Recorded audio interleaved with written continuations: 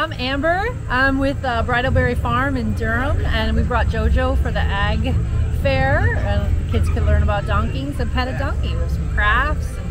we're having a great day. It's a beautiful day here at the Wallingford Grange Fair.